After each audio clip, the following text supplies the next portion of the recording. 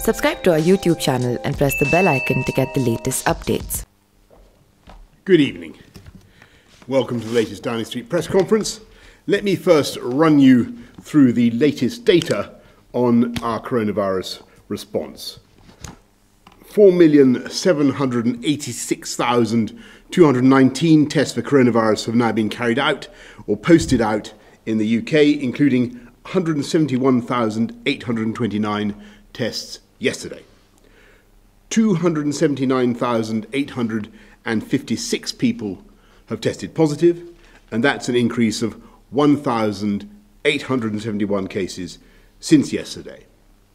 7,485 people are in hospital with COVID 19 in the UK, down 16% from 8,921 this time last week.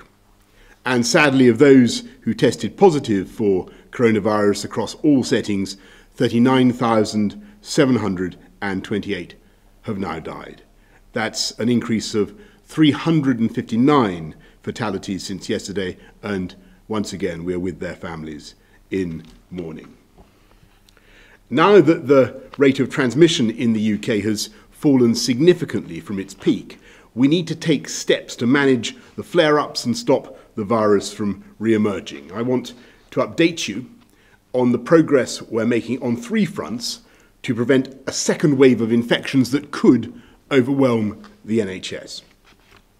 First, we've set up NHS Test and Trace in order to identify, contain, and control the virus in the UK, thereby reducing its spread. As we move to the next stage of our fight against coronavirus, we'll be able to replace national lockdowns with individual isolation and, if necessary, local action where there are outbreaks.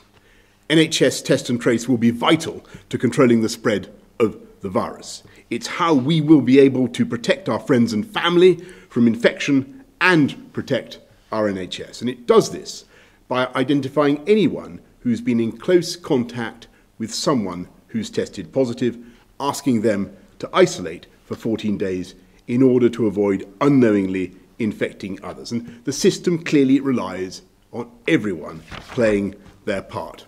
So I, I want to stress again today we need you to get a test if you have coronavirus symptoms, a high temperature, a new continuous cough, or a loss of taste or smell. There is plenty of capacity, and everyone with symptoms is eligible every, everyone with symptoms. So please order a test from nhs.uk forward slash coronavirus as soon as you develop symptoms. And we need you to isolate yourself if a contact tracer tells you that you have been in contact with someone who's tested positive. NHS Test and Trace started operating a week ago, and already thousands of people are isolating who wouldn't have been doing so before this service was introduced. And they are thereby protecting others and reducing the spread of the virus. So while we're going to all these efforts here in the UK to control the virus, we must also ensure we don't re import the virus from abroad. So, the second action I want to update you on is the introduction of public health measures at the border. Today, the Home Secretary has brought forward the legislation needed to establish the new regime from Monday. And I want to explain the reasons for introducing these measures now. When coronavirus started to spread around the world, first from Wuhan and then from northern Italy and other areas, we introduced enhanced monitoring at the border in an attempt to stop the virus from gaining a foothold in the UK. These measures applied at various different times to arrivals from China, Japan, Iran, and Italy, and required people with symptoms travelling from those countries to self isolate for 14 days. However, once community transmission was widespread within the UK, cases from abroad made up a tiny proportion of the total. At the same time, you'll remember that international travel plummeted as countries around the world went into lockdown. So as a result, measures at the border were halted because they made little difference at the time in our fight against the virus. now that we're getting the virus under control in the UK, there is a risk that cases from abroad begin once again to make up a greater proportion of overall cases. We therefore need to take steps now to manage that risk of these imported cases triggering a second peak. So, just as we're asking people already in the, the UK to isolate for 14 days when contacted by NHS test and trace, we're also asking those arriving from abroad to isolate so that they don't unknowingly spread the virus. And there will be some exemptions for a limited number of people who need to cross the border, such as those engaged directly in the fight against coronavirus or who provide essential services. And we will review how the policy is working after three weeks. And of course, we will explore the possibility of international travel corridors with countries that have low risks of low rates of infection, uh, but only when the evidence shows that it is safe to do so. The third point I want to make today is we need effective international action to reduce the impact of the virus across the globe. And this is the, the moment, really, for humanity to unite in the fight against the disease. Health experts have warned that if coronavirus is left to spread in developing countries, that could lead to future waves of infection coming back and uh, uh reaching the UK.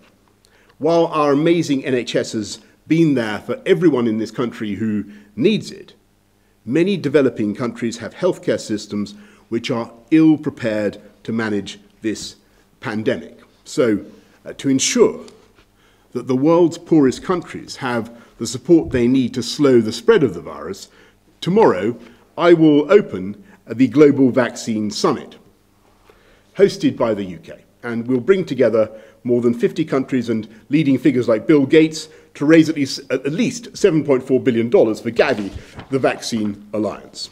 Over the next five years, with the UK's support as Gavi's biggest donor, this vaccine alliance aims to immunise a further 300 million children in the poorest countries against deadly diseases like polio, typhoid, and measles, again, saving millions of lives. This support for routine immunisations will shore up poorer countries' healthcare systems to deal with coronavirus and so help to stop the global spread and, as I say, prevent a second wave of the virus reaching the UK. This virus has shown how connected we are. We're fighting uh, an invisible enemy, and no one is safe, frankly, until we're all safe. And again, of course, this is all contingent upon each of us continuing to do our bit. And, uh, and as I never tire of telling you, let us not forget the basics. Wash your hands regularly and for 20 seconds. Wash your hands. Do not gather in groups of more than six outside. Always observe social distancing, keeping two meters apart from anyone outside your household. And I want to stress one final point, which uh, may be relevant uh, today, as the, as the weather threatens, I think, to take a turn for the worse. Some of you may be tempted to move the gatherings you've been enjoying outdoors, indoors, out of the rain. I really urge you, don't do that we relaxed the rules on meeting outside for a very specific reason, because the evidence shows that the risks of transmission are much lower outdoors, much lower outdoors. And the risks of passing on the virus are significantly higher indoors, which is why gatherings uh, inside other people's homes are still prohibited. Breaking these rules now could undermine and reverse all the progress that we've made together. I've no doubt that that won't happen. I've no doubt that won't happen. I think the British public will continue to show the same resolve in fighting the virus as they have throughout this outbreak. We will get through this if we stay alert, control the virus, and in doing so, save lives. And with that, I'll now hand over to Patrick yeah. for today's you, slides. Can I have the first slide, please?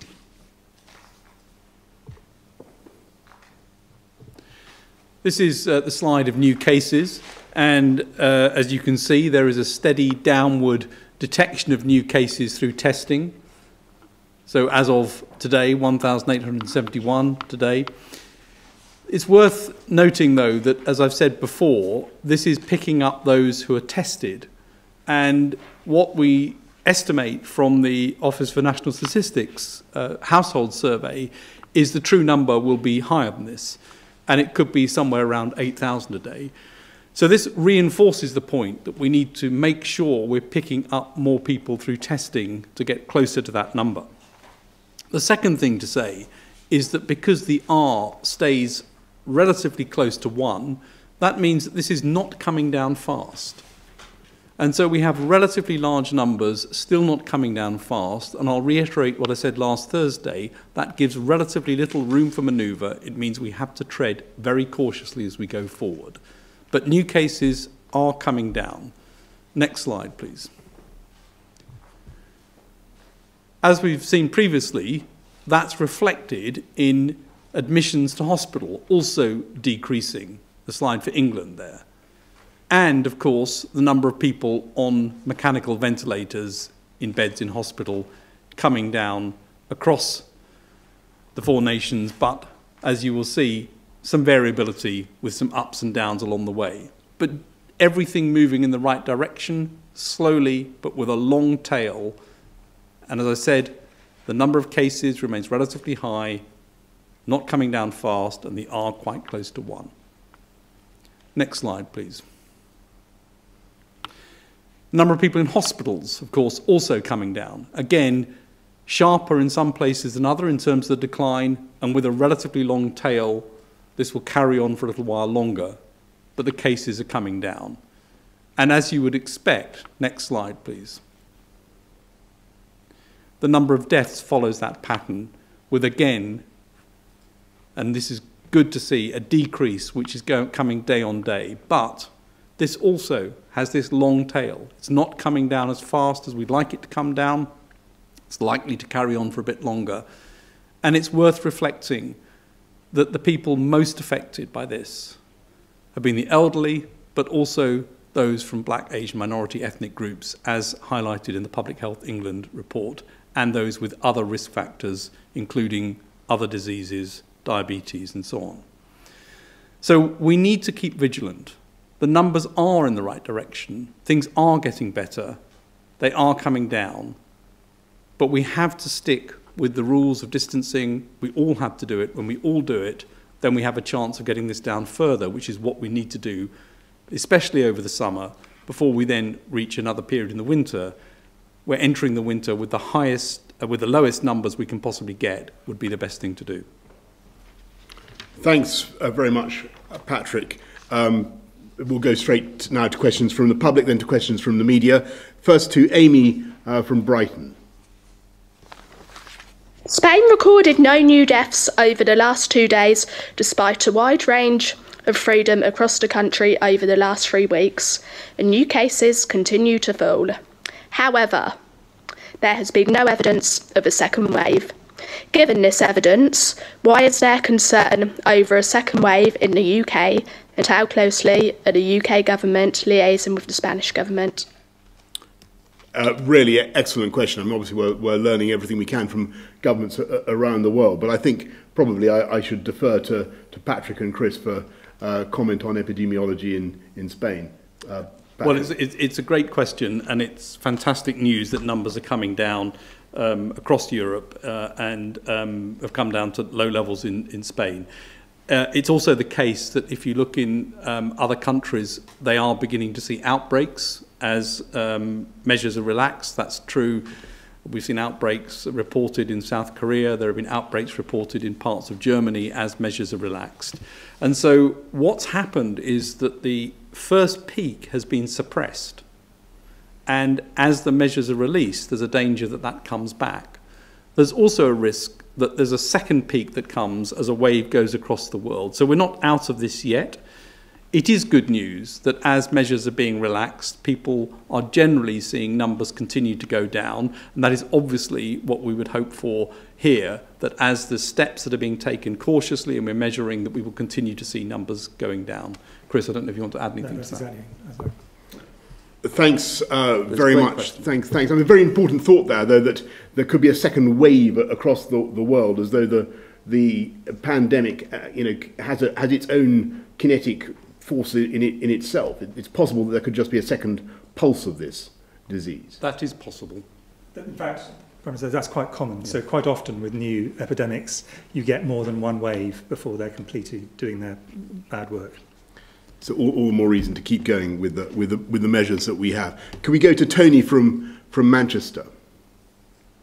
Tony from Manchester asks, myself and my husband are going back to work. Our children uh, are not in the age groups to go back. Uh, what help is there uh, for parents with no childcare options? And uh, all I can say, uh, Tony, I, I really do understand the, you know, how, how you uh, feel it is it is it is must be very frustrating that you know you're uh, you're not in the in the group of, of that are able to send their, their children back first. As, as everybody knows it's it's early years uh, reception uh, year one uh, and year six. Uh, but we hope to get more primary school children back. We we as, as you know year 10 and year 12 are going to get some contact with their teachers. The best, the best we can do right now for you, Tony, is to, is to keep supporting you uh, through the, the furlough scheme, through the coronavirus job uh, retention scheme, uh, through all the ways that we've been uh, trying to, uh, to help families. Uh,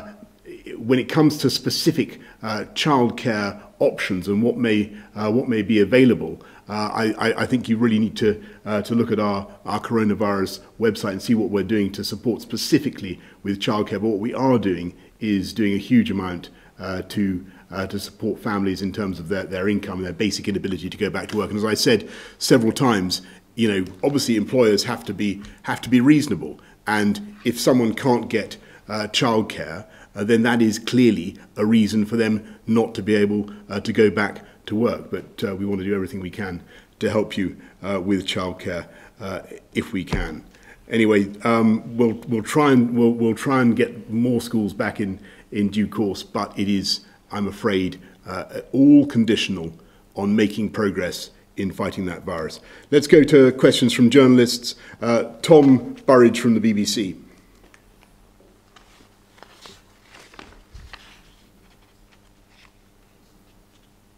Uh, thank you very much, Prime Minister. Um, should anyone be booking a holiday anywhere in Europe right now? What's your assessment? Are holidays abroad this summer going to happen? And what do you say to someone who's paid the deposit on their holiday and now has to decide whether they pay the full amount or cancel? And two questions to the scientists, please.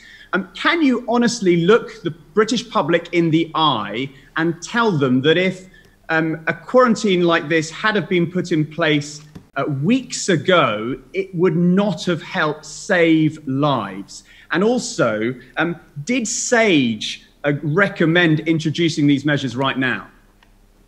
Uh, right, uh, Tom. First of all, look, I'm, I'm, I'm not going to uh, to give advice on on uh, individuals' travel arrangements, but you know what the Foreign Office uh, guidance is. The, the guidance is that every, everybody at the moment should avoid uh, non-essential travel. Everybody should avoid non-essential travel. We've got to knock this virus uh, on the head. Um, uh, in terms of the, the quarantine uh, rules that we're, we're bringing in, uh, the reason for doing that, as I said just now, is we want to stop the possibility of, of reinfection from, from abroad. That's, the, that's uh, you know, the, the, a vital consideration uh, as we get the, the disease down. Shall I?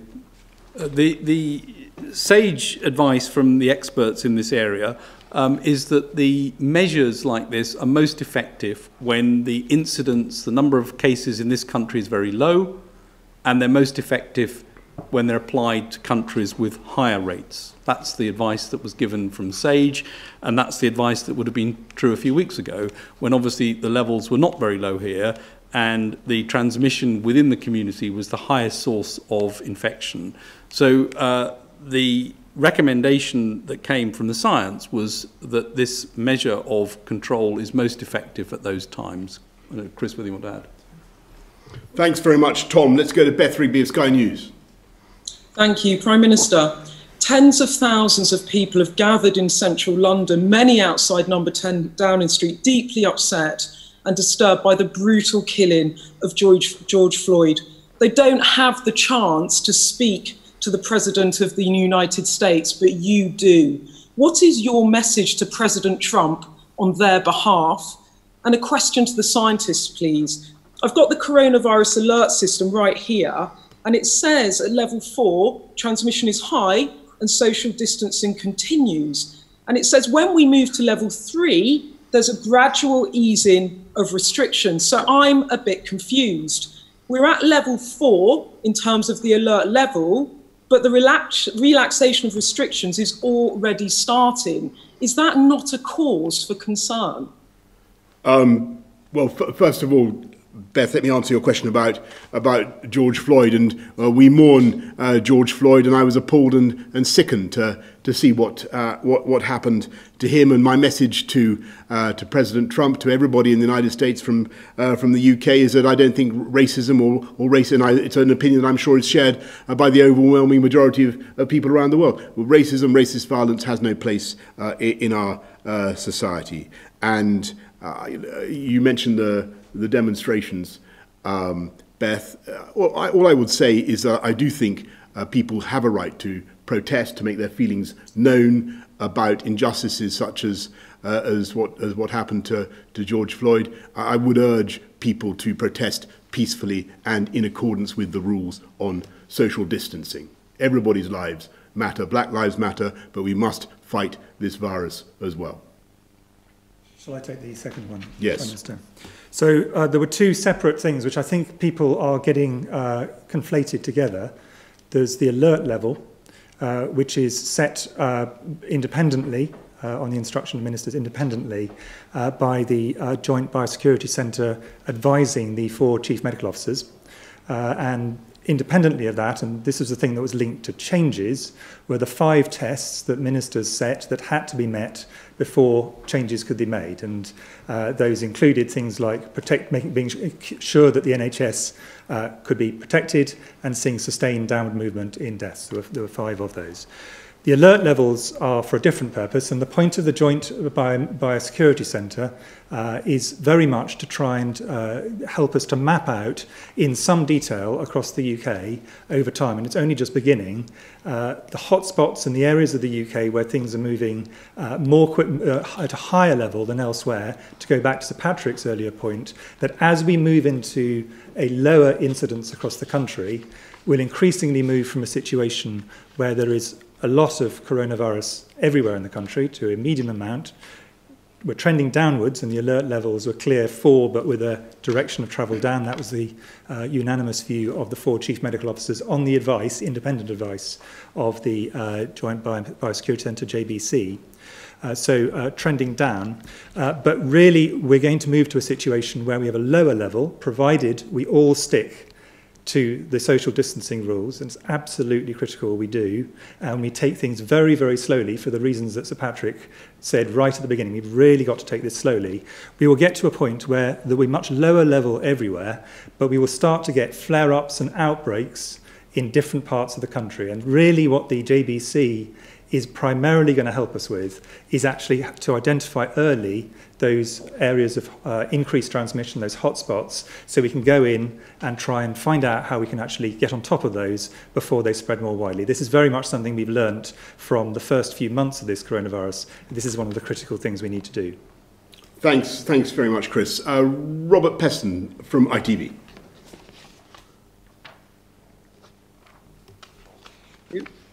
Good afternoon, gentlemen. Um, question for the Prime Minister first. Uh, your predecessor, Theresa May, uh, yesterday said she was deeply concerned by the way that the quarantines being imposed on travellers to the UK are, in her words, closing Britain off for the rest of the world. And she wants you to take the lead in developing an international aviation health screening standard that would make it unnecessary to have those kinds of uh, quarantines. Are, are you going to take your predecessor's advice and, and, and lead talks on devising such a scheme to get aviation going again, uh, travelling going again? Um, and to the chief scientific advisor and the chief medical officer, just picking up actually on what Beth uh, said, Um, Professor Whitty, one of the things you simply ju said just now was that the point of the, the, the, the threat levels was to basically advise, for example, on when we can have local lockdowns to tackle outbreaks at the local level. But one of the things we know from Dido Harding, for example, who's in charge of the whole test and trace process, is we're not going to have that data for another month, which makes many people concerned that the easing off of lockdown has happened a month too early. C could you just reassure or comment on that? Yeah, uh, first of all, thanks, Robert, on your point about uh, what we can do to make sure that, insofar as possible, we uh, allow people to, to fly safely. I, I mentioned uh, earlier on the, uh, the idea of, of, of safe corridors, safe travel uh, between the UK uh, and other countries with uh, low uh, or, or, or similar levels of, of infectivity, and, and we will certainly be uh, developing that as, as, we, as we go forward. One of the difficulties about, uh, about, about uh, testing is, is, as you know, the risk of, uh, of uh, at airports is, is the risk of false negatives. But um, uh, on, on, on the other matter, uh, Patrick. Well, I think it's Chris. Um, I'm going to give, if I may, uh, quite a long answer to that because I think it's a really critical question that people are asking. The thing to understand is this is a, uh, a, a, a disinfection with which we are going to have to live alongside for many months and probably longer than that. Uh, we've basically got to have a multi-layered defence against it. Uh, and at any given point, we can maybe raise some things and lower others, but we're going to have to go incredibly cautiously uh, as, uh, the, uh, as uh, Sir Patrick said early on. And I'm going to run through all the things that we have to do because I think it's important to understand each change in context. So there are, there are a group of things we need to do to isolate those people who have the virus or might have the virus. And one of the problems with this virus is that it can be transmitted by people before they get symptoms. So the first and most important thing is people who do have symptoms must self-isolate straight away and they must get a test, as the Prime Minister was saying. Secondly, the people they are most likely to pass it on to and who could therefore have the virus without symptoms are their own household.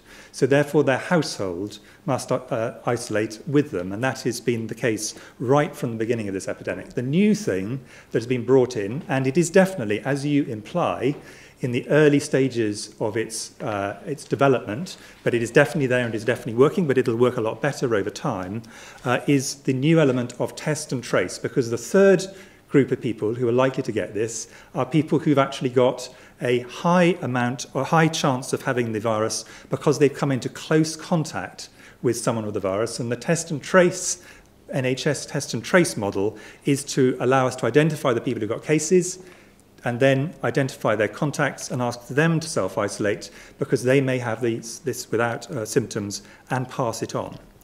Then there's a group of things that we need, so that's the first group of things. Then there's a group of things we need to do in terms of reducing transmission at an individual level. And these include washing hands, as the Prime Minister repeatedly and rightly says, absolutely critical because you can pass it to yourself and to other people. Uh, if you're coughing, to make sure that you actually uh, have no good cough, what's called good cough etiquette, where you uh, use a tissue and dispose of it uh, properly. Um, the two meter rule, uh, which is about trying to ensure that if you do speak, cough, or make other uh, things which actually lead to droplets coming out and you're infected without knowing it, that you don't pass that on. And uh, something which, again, we brought in relatively recently, the idea that in, if you cannot socially distance at two metres uh, for a prolonged period, uh, for sorry, a moderately prolonged period, then you should use face cloths, and that's one of the things which uh, is a new uh, thing. So those are, those are going to carry on really for as long as this, in fact, this epidemic continues. But then we've got the group of things which are around trying to break the link between households, because that is where most of the social distancing come in, and those are the things that were absolutely essential. Trying to reduce people's social contacts, including close friends and family, because actually very often those are the people who you will catch this from. Uh, all the things which bring people together, the things we all enjoy, like pubs, pubs clubs, uh, and restaurants and so on, these are things where we needed to close those down. um, uh, shops uh, were closed down as a way of ensuring that you came into contact with as few people uh, who were from different households. Uh, and of course, the uh, initial uh, large but not complete closure of schools. Now, in this group of things, we've really made very, very small changes with the exception of the schools, which has been a small uh, additional group to the people already at schools, the, uh, the children of essential workers, um, uh, almost all the other things are to do with people meeting outdoors and asked to be socially distant. And that's because the risk of people being outdoors is very considerably reduced. But these are really modest and slow steps. And the final two things that we have to do is shielding, keeping, making sure that the people who are at greatest risk are, uh, are away from the greatest risk of meeting others with the virus. And we made a very small adjustment to that, which is, again, because for many people this was incredibly difficult to maintain, to say, well, if you're just with a member of your existing household, you can go outdoors or you can meet someone, but at a distance, only one person, outdoors only. These changes in risk are really very small. And then the final one, which it really is important to stress, because it is in the long run the way we're going to get ourselves out of this, is research. Finding new drugs, finding new vaccines. Now, the reason I've listed all of those out is what we're making is small adjustments to some of these things, but this is a multi layered defense, and all of us have parts to play in almost all of these. It's absolutely critical we all do this. And so we shouldn't take the fact that small adjustments are being made now to imply that this is suddenly lockdown over. What this is, is a slight reversal of some of the most onerous things on people, mainly outdoors, at a socially uh, safe distance, the two metre distance. So I hope that's, I know that's a long answer, but I think it is important to put things in context rather than just to see them as one-off events. Thanks very much, um, Robert. Tom Newton Dunn from The Sun. Thank you, Prime Minister. Question first to the CMO and the CSA, if they could possibly both answer this one. Uh, testing capacity, we know uh, track and trace is up and running. Could you say at what capacity it currently now is at? Is it 20%, 50%, 100%? We know it's not 100% maybe. And when do you expect it to be running at full capacity, full operating uh, capacity? Uh, and before it gets to that stage, since Angela McLean has been very clear that uh, having a fully operating track and trace system is crucial to uh, unlocking the lockdown, are you comfortable for more measures to be released, such as the, the opening of shops or pubs or restaurants? And question to the Prime Minister. Um, Prime Minister, this is my last question to you as the Sun's political editor. Historic. Uh, it's now clear that the uh, nation will lose a whole load of jobs. Many millions of jobs may be lost by the autumn, by Christmas. Many of those will be Sun readers, probably tens or even hundreds of thousands. Are you able to guarantee to these people, none of whom have lost their jobs through any fault of their own, either new jobs to all of them, or if not, help or training to all of them to be able to get new jobs again? Yes, uh, sorry, um, but, but why don't you uh, answer the, the first one? I'll come to Tom. Um, on the testing capacity, um, in a sense, what we've done uh, is play leapfrog to some extent. The capacity goes up, then we uh, run to catch up. There are, there are very many more things we could do with testing with greater capacity. And the key thing we need to do is do that systematically. We obviously started off with people who had uh, severe disease, uh, went out by stages, uh, key workers, testing them if they had symptoms so they could go back to work in the NHS, social care and other areas. And we've now got to a situation where we can test people who've got symptoms in the general public and that allows us to run the test, NHS test and trace system, uh, which was not possible when we had less cap uh, testing capacity. Uh, but it, at the more capacity we have, the more different uses we can use for these testing for people who've got the virus now. And that allows us to do screening, for example, in care homes, screening in hospitals, uh, and other things which will allow us to find the hotspots that we've got in terms of infection and, uh, and uh, deal with them. But you're absolutely right. We are not yet at sort of cruising altitude for this. Uh, the number of tests is going to carry on going up, uh, and our ability to use the tests we've got is going to carry on going up. And this is going to carry on for quite some time before we get to the point, I think, that we're all satisfied we've got to the point we need. There's the additional point, which I'm not going to go into the details of unless you really want to on a follow-up, of antibody testing, which is an additional capacity we now have. And this can say reliably whether someone has had the infection several weeks ago Uh, but we don't know whether it tells us anything useful about immunity or anything of that sort. But that's the other form of testing, and we're increasing the ability to do both of those uh, across the UK. And just, just to add to that, um, what Angela said is that the, an effective system in place is an important part of going forward, is an important part of being able to release measures, and as Chris has said, it's being built up. But I do want to stress it's not the single answer. So the idea that somehow having a test and trace system in containment absolves ourselves of all the other things we need to do is incorrect. We need to make sure that we carry on with the distancing and some of the other measures in place in order to control this. The lower the number of cases in the country, the more effective and the higher burden of load, as it were, can be carried by test and trace and, and making sure people isolate. But on its own, it's not the answer. It has to be part of the whole system.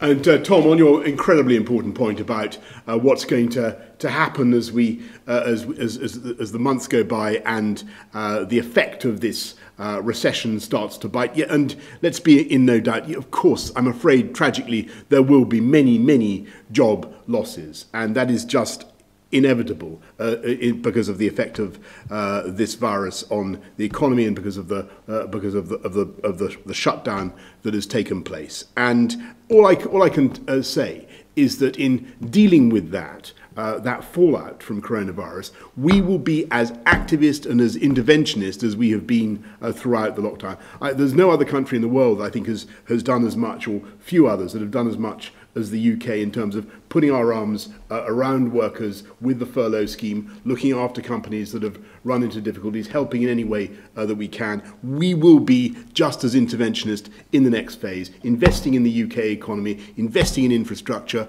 taking our country forward so that we bounce back as, as, as sharply and as, as decisively as we can. That's going to be our approach. One thing I, I, I want to say is that for young people in particular, for whom the, the, the risk is, uh, I think, uh, highest of losing jobs and then being out of work for a long time, I think it's going to be vital that we guarantee uh, apprenticeships uh, for, for young people. I think we must, must have a, a huge, we have to look after people across the board, but uh, young people in particular, uh, I believe, uh, should be guaranteed an apprenticeship. Thank you. Can I come back? Uh, I didn't let anybody else back, uh, Tom. I'll be accused of favoritism, but we, I, I, you know, everybody is going to wish you well on your on your next job uh, and uh, after your historic innings uh, as political editor of The Sun. Um, Steve Swinford of The Times. Uh, Prime Minister, China's role in this pandemic has been heavily criticised, and you personally raised concerns on our pages this morning about the impact of security laws in Hong Kong. Uh, do you think we can ever return to business as normal with China? And are you, as is being reported, now looking to remove Huawei from Britain's 5G network entirely from 2023? Um, and Sir Patrick, just a brief question to come back from what Tom was saying earlier. You uh, seem to suggest that Sage previously provided advice on the impact of quarantine measures. Uh, did Sage provide specific advice on implementing those measures on June the 8th, as is being planned, and whether that would doing so would actually make a significant difference to the spread of coronavirus? And if it didn't, do you personally have a view on that? Um, well, first of all, on uh, on uh, on Hong Kong. I've, I've, said uh, what I've said, which is that uh, uh, you're, you're absolutely right, Steve. I do think that uh, what is happening now is potentially going to be an infringement of the the Sino uh, UK Sino British Agreement of 1987. It protects political and civic freedoms in Hong Kong, that uh, looks as though it could be very, very badly eroded by what is being proposed. And so, what we're saying is that we want to hold out our hand, a hand of friendship and support and loyalty uh, to the people of Hong Kong. I think that's the right thing to do on, uh, on high risk uh, vendors in our critical national infrastructure. Uh, well, uh, you, you know my views. I, I think we've got to make sure that we have solutions for the for the UK that protect UK security, and that's what this government is going to achieve. But I want to stress one thing. Uh, to uh, I am a Sinophile. I believe I, I think I, I, think China is an incredible country and an extraordinary civilization, and uh, I I deeply uh, disapprove of anti-Chinese xenophobia, attacks on uh, people of Chinese appearance that uh, uh, we've seen in, in, uh, in recent months. I, I, I, we, we must stamp out uh, such, uh, such xenophobia. and I see absolutely no contradiction with what I've, between what I've said earlier about Hong Kong and about high-risk vendors in critical national infrastructure and wanting a good, friendly, clear-eyed working relationship with China. And that's what this country uh, will have. Uh, again, I'll reiterate the advice that the experts from SAGE gave, which is that the uh, measures at the border are most effective when the incidence is very low in this country and when applied to countries which have higher incidence. And the judgment of, of that time, of course, is not something uh, uh, for us, it's something for politicians to make, and they make the policy and they make the timing decisions. But that's the advice that we gave in terms of the science of this. Thanks, thanks very much. Um, anyway, thank you. Uh, can we go now to Josh Layton from the Coventry Evening Telegraph? The Prime Minister, coronavirus has already taken a bigger toll on the UK than anywhere else in Europe. What specific reassurances can you give workers in Coventry, especially in the car manufacturing sector, sector which you've been so keen to champion, that they will not suffer the worst economic fallout as well? And to Professor Whitty and Sir Patrick, many parents in Coventry and Warwickshire are telling us that they are refusing to send their children back to school at the moment. With everything we have heard this evening about the alert level and the prospect of local lockdowns, doesn't this cautious approach prove them right?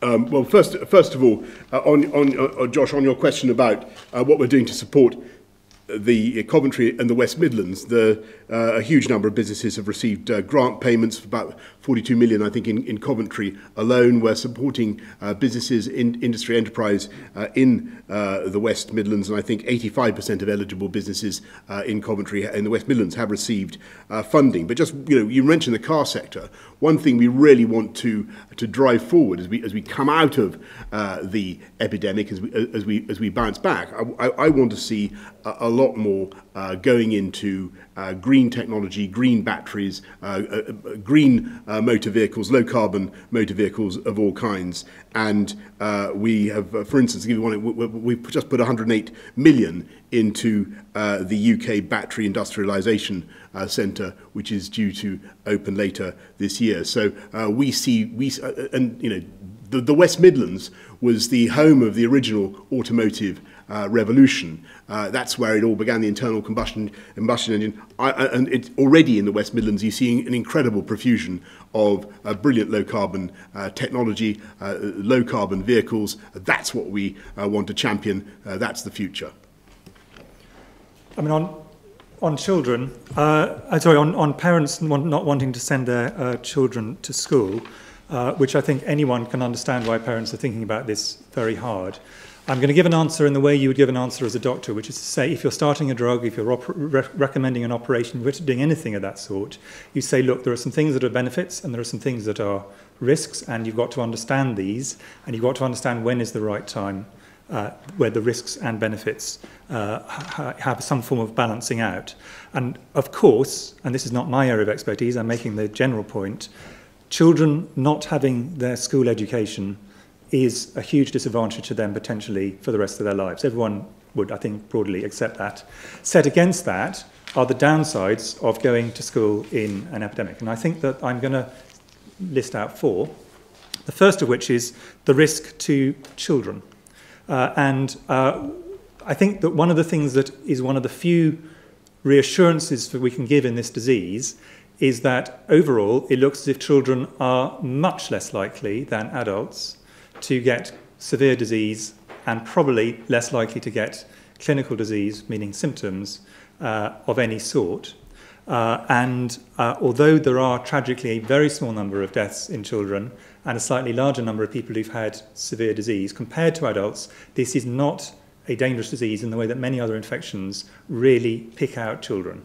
This disease does not. So this is not a disease which is aimed, which is primarily of risk to children. Uh, the second thing is that parents of particularly primary school children are generally not in the age group which is at high risk of getting severe problems with coronavirus. Now, there are, of course, there are people who've got particular high-risk medical conditions who are shielded at the moment, and in that situation, there's a different set of, uh, of concerns, uh, and there's very specific guidance for those uh, parents. But this is not an area in primary school, a very small proportion of parents of primary school children are in the, are in the age group where uh, there's high mortality or severe problems.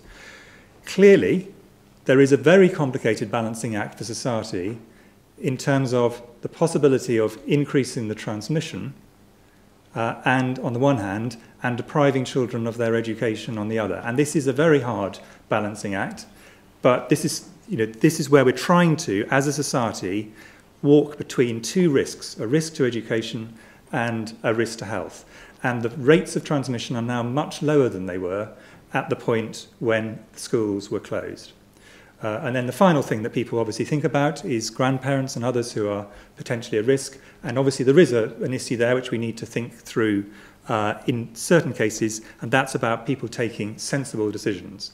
So I think, you know, I fully understand, as everyone would fully understand, people wanting to uh, think this through.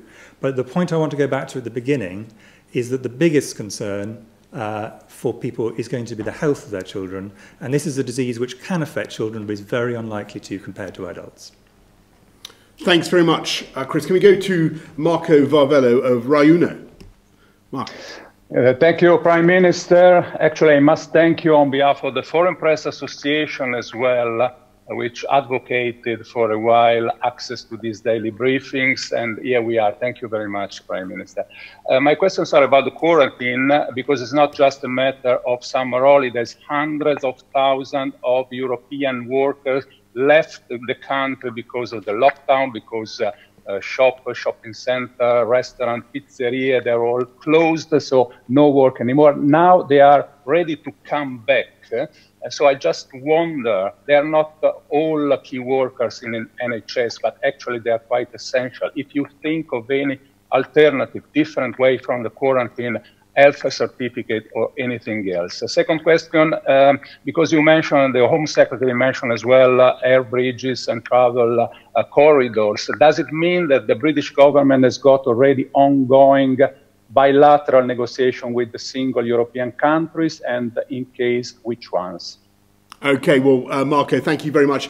On the on the air corridors, um, I don't want to go into the negotiations uh, that we're having, but clearly we're all, we're, we're discussing uh, with our partners uh, around uh, the whole of Europe about uh, about what could what could be done continuously, just as we've been. Negotiating the whole time about uh, movements across borders, and it's you know it's one of the the, the most uh, difficult things to to get right. Um, what I'd say to to our, our Italian uh, friends, it, Italian uh, Italians who've been living and working in the UK, who who now want to to come back, I say come back. Uh, uh, you know, uh, to, tutti benvenuti. Uh, you know, come back to uh, uh, uh, to London or, or to the UK, uh, but you've got a quarantine. And uh, I don't believe that, that that is, you know, uh, everybody's been uh, been in lockdown for for for a long time. Uh, it's just an it's an I know it's an imposition, uh, but we've really got to defeat this virus. But we we want you back. Thank you very much. Thank you. Thank you, thank you very much. Well, listen, I, can I just want to, I want to wrap up by making, I want to repeat the, the key point of, of, this, of this press conference. We are seeing continuous falls in uh, the disease, in deaths, in, in incidents, and that's why we've been able uh, to take the very cautious steps that, uh, that we have. We want to take some more steps uh, to unlock our society and try to get back to as normal as, as possible. Uh, eventually, I would like to do such things as, as reducing the, the two metre rule, for instance. But all those changes, all that future progress, uh, depends entirely on our ability to keep uh, reducing the incidence and driving down that disease. And that depends on us following the basic rules, washing your hands, wash our hands, uh, self-isolate if you have symptoms, uh, take a test, and of course observe social distancing. Thank you all very much. We are beating uh, this disease uh, and we will beat it together if everybody uh, works on it together. Thank you.